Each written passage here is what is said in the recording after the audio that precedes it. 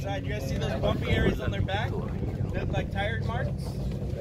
Those are called scutes. They actually help the alligator regulate their body temperature.